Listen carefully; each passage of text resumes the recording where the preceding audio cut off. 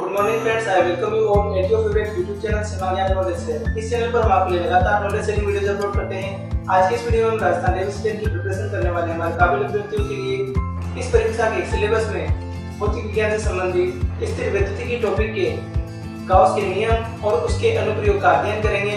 आइए हम स्टार्ट करते हैं। गाउस के नियम का अध्ययन करने से पहले हम किसी आवेश वितरण के कारण उत्पन्न होने वाली विद्युत क्षेत्र रेखाओं के बारे में अध्ययन करते हैं।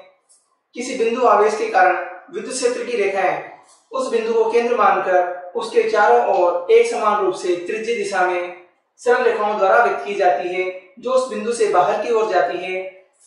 परंतु एक ऋणात्मक आवेश के कारण विद्युत क्षेत्र रेखाओं की दिशा पूर्व के समान ही त्रिज्य दिशा में होती है, परंतु इस केंद्र की ओर निर्देशित होती है।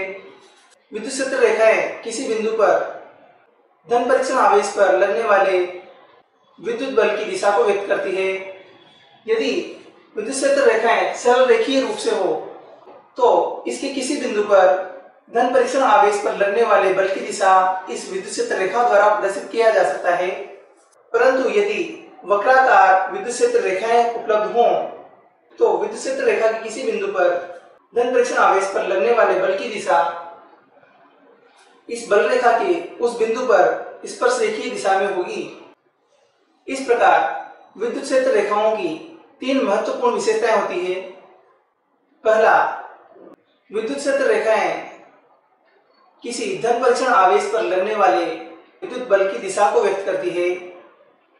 विद्युत क्षेत्र रेखाओं के मध्य आपेक्षिक दूरी उस बिंदु पर विद्युत क्षेत्र की तीव्रता को व्यक्त करती है। तीसरा कोई भी दो विद्युत रेखाएँ परस्पर कभी नहीं काटती हैं, क्योंकि यदि ऐसा होगा तो विद्युत क्षेत्र के उस बिंदु पर धन परीक्षण आवेश पर लगने वाले बल की दो दिशाएँ संभव होगी, जो कि कदापि संभव नहीं है। इस प्रकार बिंदु धनावेश या एक गोलाकार समरूप आवेश वितरण के कारण विद्युत क्षेत्र की दिशा उस गोले के केंद्र को केंद्र मानकर त्रिज्य दिशा में एक समान रूप से खींची हुई सरल रेखाओं द्वारा व्यक्त की जाती है, जो कि उस केंद्र से बाहर की ओर निर्देशित होती हैं।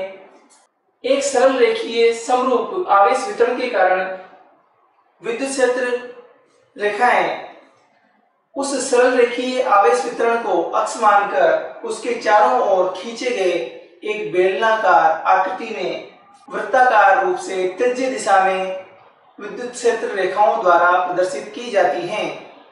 यदि किसी क्षेत्र में विद्युत क्षेत्र रेखाओं को एक समान दूरी वाली समांतर रेखाओं द्वारा प्रदर्शित किया जाता है तो उसे समरूप विद्युत क्षेत्र कहा जाता है। अर्थात उस क्षेत्र में प्रत्येक बिंदु पर विद्युत क्षेत्र की तीव्रता नियत होगी। परंतु यदि विद्युत क्षेत्र रेखाएँ इस प्रकार वक्राकार रूप से प्रदर्शित की जाए तथा उनके मध्य आपेक्षिक दूरी भिन्न भिन्न स्थानों पर भिन्न भिन्न हो तो जहाँ पर विद्युत क्षेत्र रेखाओं के मध्य दूरी अधिक होगी वहाँ विद्युत क्षेत्र की तीव्रता का मान कम परंतु उनके मध्य आपेक्षिक दूरी कम होने वाले स्थान पर विद्युत क्षेत्र तीव्रता का मान उच्च होगा। इस एपिसोड में हम स्टडी कर रहे हैं गाउस के नियम का। गाउस का नियम मूलतः किसी बंद क्षेत्र से निर्गत विद्युत विद्युत क्षेत्र रेखाओं की संख्या अर्थात फ्लक्स को निरूपित करता है। किसे कहते हैं फ्लक्स? किसी एक समतल जिसका क्षेत्रफल ए वेक्टर द्वारा प्रदर्शित किया जाए। यदि उसका अभिविन्यास इस प्रकार का हो कि विद्युत क्षेत्र रेखाओं और उसके क्षेत्रफल सदिश के मध्य कोण का मान थीटा है, किसी समतल सतह के क्षेत्रफल सदिश को उस क्षेत्रफल के लंबवत दिशा में एक वेक्टर द्वारा प्रदर्शित किया जाता है, जिसका परिमाण उस सतह के क्षेत्रफल के बराबर होता है। इस प्रकार विद्युत क्षेत्र में स्थित किसी पृष्ठ से निर्गत विद्युत फ्लक्स का मान निर्गत कुल क्षेत्र रेखाओं की संख्या द्वारा प्रदर्शित किया जाता है। अतः किसी समतल पृष्ठ से निर्गत कुल विद्युत क्षेत्र रेखाओं की संख्या उस पृष्ठ से निर्गत फ्लक्स कहलाता है।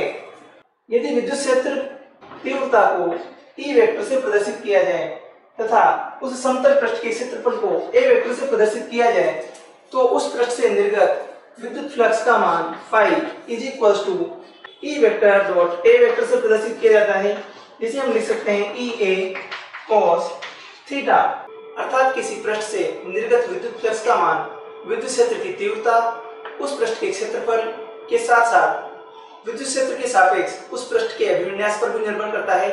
इस प्रकार इस प्रकार विद्युत फ्लक्स गणना के लिए तीन स्थितियाँ होगी। पहली स्थिति, जब theta is equal to 90 degree हो, ये अर्थात उस पृष्ठ का तल विद्युत क्षेत्र की रेखाओं के समांतर हो तो उस पृष्ठ का क्षेत्रफल सदिश विद्युत क्षेत्र के लंबवत अभिविन्यस्त होगा। अतः theta is equal to 90 degree होने पर फाई अर्थात फ्लक्स का मान ई ए कॉस 90 डिग्री रखा जाएगा। कोस 90 का मान होता है ज़ीरो अतः phi is equal to zero अर्थात इस स्थिति में उस पृष्ठ से निर्गत फ्लक्स का मान शून्य होगा।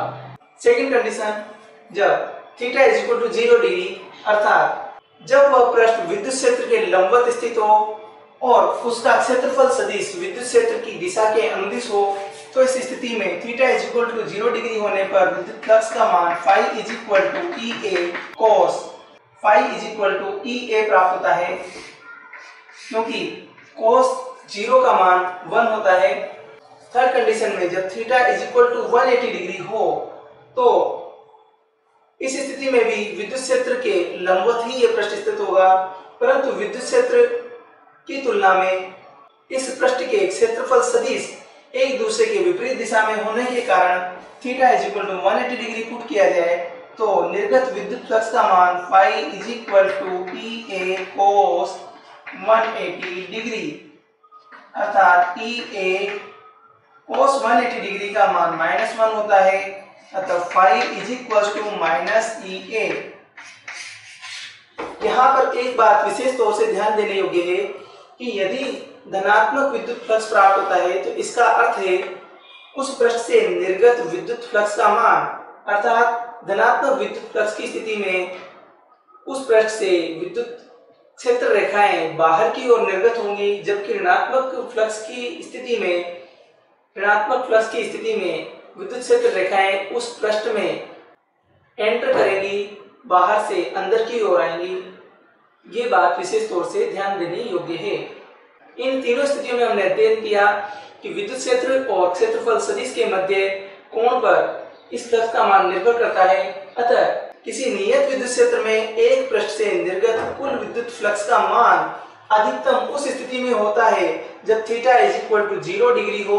अर्थात जब वह पृष्ठ विद्युत क्षेत्र के लंबवत अभिविन्यस्त हो, तब उससे निर्गत कुल विद्युत फ्लक्स रेखाओं, उस पृष्ठ से निर्गत कुल क्षेत्र रेखाओं की संख्या का मान अधिकतम होता है।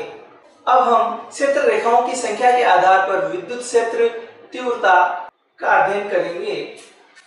विद्युत क्षेत्र की तीव्रता को किसी पृष्ठ के एकांक क्षेत्रफल से निर्गत विद्युत क्षेत्र रेखाओं की संख्या द्वारा व्यक्त किया जाता है। अर्थात एकांक पृष्ठीय क्षेत्र से निर्गत विद्युत क्षेत्र रेखाओं की संख्या विद्युत क्षेत्र की तीव्रता को प्रदर्शित करती है।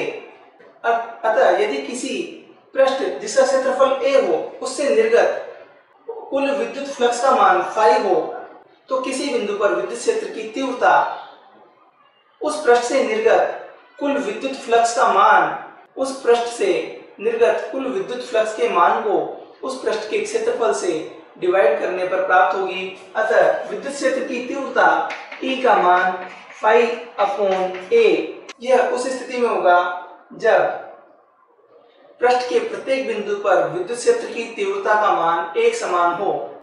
दोस्तों, आज के इस एपिसोड में अभी तक स्टडी किए गए वेरियस टॉपिक्स विद्युत क्षेत्र रेखाएँ, विद्युत क्षेत्र फ्लक्स विद्युत क्षेत्र की तीव्रता के बेटर एक्सप्लेनेशन के लिए हम तीन इंपॉर्टेंट न्यूमेरिकल प्रॉब्लम्स को सॉल्व करेंगे। आइए हम शुरू करते हैं। हमारे पास पहली प्रॉब्लम है एक दिए हुए विद्युत क्षेत्र, तीव्रता वाले क्षेत्र में एक क्षेत्रफल सदिश 5 into ten to power minus three J K metre square दिया हुआ है। अतः इस पृष्ठ क्षेत्रफल से निर्गत विद्युत क्षेत्र फ्लक्स की गणना करनी है। आइए हम शुरू करते हैं। हम जानते हैं कि किसी प्रश्न ए वेक्टर से निर्गत विद्युत क्षेत्र ई वेक्टर का flux phi is equals to E vector dot A vector से दिया जाता है। यहाँ हमें दोनों राशियाँ सदिश रूप में दी हुई है, इसलिए सदिश रूप में रखा जाए तो ई एक्स आई के प्लस ई वाई जे के प्लस ई जेड के के डॉट ए एक्स आई के प्लस ए वाई जे के प्लस ए जेड के के लिखा जाएगा। इस प्रकार के अदिश गुणन को x कंपोनेंट्स को आपस में सीधे गुणा किया जाता है। E X A X I cap dot I cap one हो जाता है plus E Y A Y plus E Z A Z इस सूत्र का उपयोग करके हम इस एस वेक्टर पृष्ठ से निर्गत विद्युत क्षेत्र फ्लक्स का मान ज्ञात कर सकते हैं। अतः phi is equal to E vector dot A vector अतः ई वेक्टर का मान 200 I cap plus 300 J cap volt per metre dot product करेंगे स्केलर प्रोडक्ट करेंगे ए वेक्टर के साथ 5 into ten to power minus three metre square J cap यहाँ विद्युत क्षेत्र सदिश में आई केप और जे केप केवल एक्स और वाई कंपोनेंट उपलब्ध हैं। यहाँ क्षेत्रफल सदिश का केवल वाई कंपोनेंट अवेलेबल है। इसलिए जब हम इन्हें गुणा करेंगे तो एक्स कंपोनेंट्स को जब आपस में गुणा करेंगे तो इसका एक्स कंपोनेंट ज़ीरो है। इसलिए 200 multiply with zero plus 300 multiply with Y component 5 into ten to power minus three दोनों में जेड कंपोनेंट ज़ीरो है, इसलिए उसे लिखने की आवश्यकता नहीं है। अतः निर्गत फ्लक्स का मान 1500 गुणा दस की घात माइनस तीन, अतः 1.5 double zero volt into metre लिख सकते हैं। अतः दिए गए पृष्ठ से निर्गत विद्युत फ्लक्स का मान 1.5 वोल्ट इंटू मीटर से दिया जाएगा। यह हमारा उत्तर होगा। विद्युत क्षेत्र फ्लक्स पर हमारे अगले न्यूमेरिकल में एक बेलन जो विद्युत क्षेत्र की अनुदिश इस प्रकार व्यवस्थित है कि उसका अक्ष विद्युत क्षेत्र की दिशा में स्थित है। हमें ज्ञात करना है कि इस बेलन से निर्गत कुल विद्युत फ्लक्स का मान क्या होगा। हम जानते हैं कि विद्युत क्षेत्र फ्लक्स का मान किसी बंद पृष्ठ से निर्गत कुल विद्युत क्षेत्र रेखाओं की संख्या के बराबर होता है। यहाँ हम ये देख सकते हैं कि इसके S2 पृष्ठ से प्रवेश करने वाली विद्युत रेखाओं की संख्या, इसके S1 क्षेत्र से निर्गत होने वाली विद्युत क्षेत्र रेखाओं की संख्या के समान है, तथा इसके वक्र पृष्ठ S3 से कोई विद्युत क्षेत्र रेखा नहीं गुजर रही है। इसलिए वक्र पृष्ठ से निर्गत विद्युत फ्लक्स का मान होगा शून्य।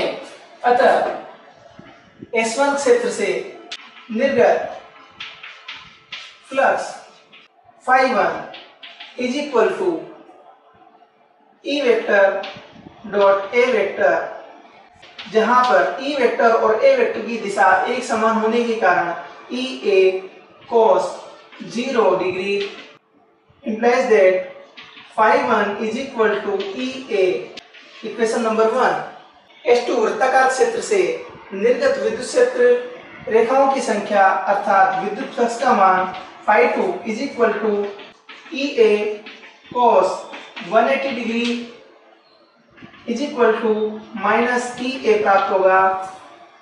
Phi 2 is equals to minus E A equation number two वक्र पृष्ठ S3 से निर्गत विद्युत फ्लक्स का मान phi 3 is equal to E A cos 90 degree is equal to zero प्राप्त होगा। इस बेलनाकार बंद पृष्ठ से निर्गत कुल विद्युत फ्लक्स का मान phi is equal to phi 1 plus phi 2 plus phi 3 is equal to zero प्राप्त होता है। लेकिन कॉम्पिटिटिव एग्ज़ाम में इस तरह का सॉल्यूशन करने का हमें समय नहीं होता है। सब्जेक्ट की अंडरस्टैंडिंग से आप इस क्वेश्चन को शॉर्ट में सोल्व कर सकते हैं, क्योंकि S3 वक्र पृष्ठ से तो कोई विद्युत क्षेत्र रेखा नहीं गुजर रही है, तथा S2 से प्रवेश करने वाली विद्युत क्षेत्र रेखाएँ S1 से बाहर निकल जाती है। इस प्रकार इस बंद पृष्ठ से निर्गत नेट विद्युत रेखाओं की संख्या शून्य होगी, अतः निर्गत विद्युत फ्लक्स का मान होगा शून्य। विद्युत फ्लक्स से संबंधित हमारे अगले न्यूमेरिकल में पूछा गया है कि एक वृत्ताकार सीट जो एक समान विद्युत क्षेत्र में इस प्रकार रखी गई है कि विद्युत क्षेत्र का मान यहाँ पर दिया हुआ है और इस वृत्ताकार सीट का तल विद्युत क्षेत्र से 30 डिग्री का कोण बनाता है तो हमें इस वृत्ताकार सीट से निर्गत विद्युत फ्लक्स की गणना करनी है। हम जानते हैं कि विद्युत फ्लक्स फाई का मान ई वेक्टर और ए वेक्टर के सदिश गुणन से प्राप्त होता है। अतः ई ए कोस थीटा सूत्र का उपयोग करके भी इस मान को ज्ञात किया जा सकता है, जहाँ थीटा कोण ई वेक्टर यानी कि विद्युत क्षेत्र सदिश और इस वृत्ताकार पृष्ठ के क्षेत्रफल सदिश के मध्य कोण है। तो हम यहाँ देखते हैं कि यदि वृत्ताकार पृष्ठ का तल विद्युत क्षेत्र सदिश से 30 डिग्री का कोण बनाता है। तो शेष बचा हुआ 90 डिग्री माइनस 30 डिग्री अर्थात 60 डिग्री एंगल यहाँ ए वेक्टर और ई वेक्टर के मध्य कोण है, अर्थात विद्युत क्षेत्र सदिश और पृष्ठ के क्षेत्रफल सदिश के मध्य कोण होगा। 60 डिग्री। इस मान को जब प्रतिस्थापित किया जाता है तो फाई का मान ई ए cos 60 डिग्री लिखा जाएगा। Cos 60 डिग्री का मान होता है 1 बाई टू ई और ए दोनों के मान प्रतिस्थापित किए जाए तो विद्युत क्षेत्र का मान 5 into ten to power five multiply with A यहाँ पर वृत्ताकार पृष्ठ की त्रिज्या का मान 5 सेंटीमीटर दिया हुआ है।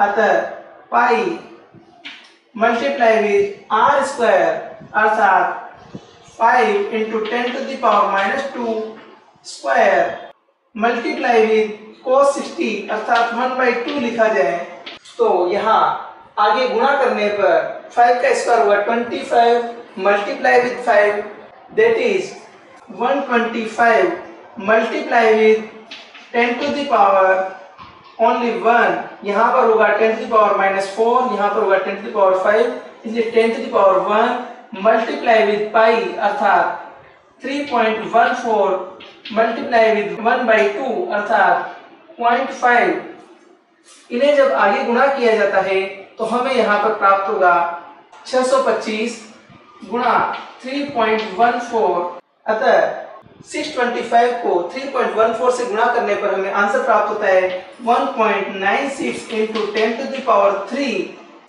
volt into metre वृत्ताकार पृष्ठ से निर्गत विद्युत फ्लक्स का मान। हमने अभी तक स्टडी किया।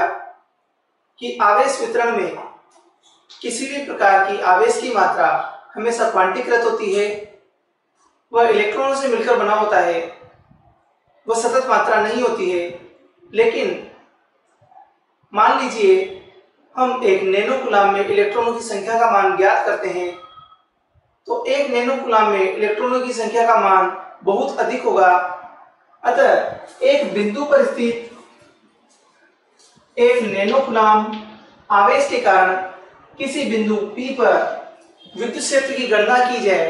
इन सभी इलेक्ट्रॉनों के कारण अलग अलग विद्युत क्षेत्र की गणना करके इस बिंदु P पर विद्युत क्षेत्रों के सदिश योग करने पर परिणामी विद्युत क्षेत्र सदिश प्राप्त होगा। परंतु यह एक जटिल प्रक्रिया होगी, इसलिए सामान्य तौर पर विद्युत क्षेत्र की गणना करने के लिए किसी बिंदु आवेश या एक समान आवेश वितरण को सतत आवेश वितरण माना जा सकता है। इसे आधार मानते हुए हम तीन प्रकार के आवेश वितरण पर चर्चा करेंगे और उसके आधार पर तीन प्रकार के आवेश घनत्व हम गणना के लिए उपयोग में लेते हैं। आइए शुरू करते हैं। मान लीजिए किसी एक रेखा के अनुदेश आवेश वितरण है। उसकी एल लंबाई पर रेखीय आवेश वितरण।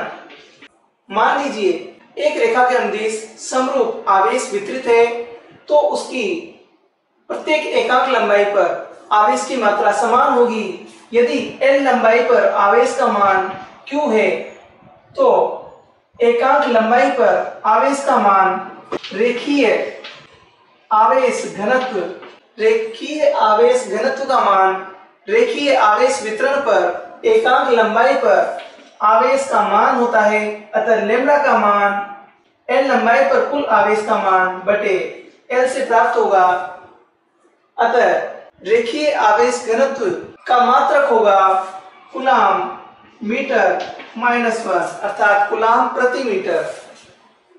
परंतु यदि आवेश किसी पृष्ठ पर या किसी सतह पर एक समान रूप से वितरित हो या संतत रूप से वितरित हो तो उस स्थिति में आवेश घनत्व के लिए पृष्ठीय आवेश घनत्व पद का उपयोग किया जाता है।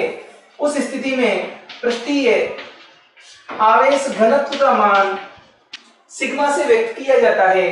तो सिग्मा का मान पृष्ठीय क्षेत्र ए पर वितरित आवेश का मान Q बटे उस पृष्ठ अल्पांश के क्षेत्रफल का मान A से व्यक्त किया जाता है। अतः एकांक पृष्ठीय क्षेत्रफल पर आवेश का मान पृष्ठीय आवेश घनत्व कहलाता है। अतः इसका मात्रक होगा कुलाम पर मीटर स्क्वायर। तृतीय स्थिति, किसी त्रिविमीय आकृति के संपूर्ण आयतन में आवेश वितरित हो तो उस स्थिति में तो उस स्थिति में आवेश घनत्व का मान आयतन आवेश घनत्व कहा जाता है। वहाँ आयतन आवेश घनत्व का मान एकांक आयतन में आवेश की मात्रा द्वारा दिया जाता है। इसे रो द्वारा व्यक्त किया जाता है। अतः रो इज़ इक्वल टू आयतन अल्पांश पर आवेश का मान Q बटे उस अल्पांश के आयतन का मान V से व्यक्त किया जाएगा। अतः आयतन आवेश घनत्व का मात्रक होगा कुलाम पर मीटर क्यूब।